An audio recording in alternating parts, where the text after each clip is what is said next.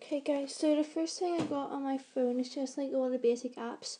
So I've just got messages, calendar, photos, camera, weather, clock, maps, videos, wallet, notes, reminders, stocks, iTunes Store, App Store, iBooks, news, health, home, settings and FaceTime. Then at the bottom here I've got phone, mail, Safari, music. Then on the next page I've got this folder called extras.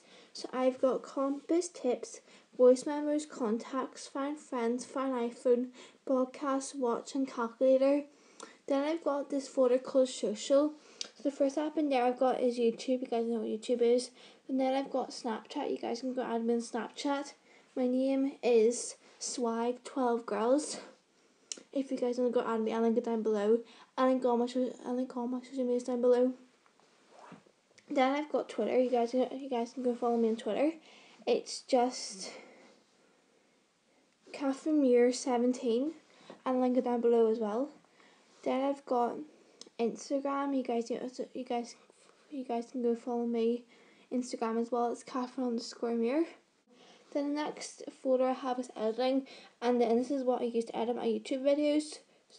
I've got iMovie, Bitmoji, Phonto, PicMonkey, Hyperlapse, and PicsArt.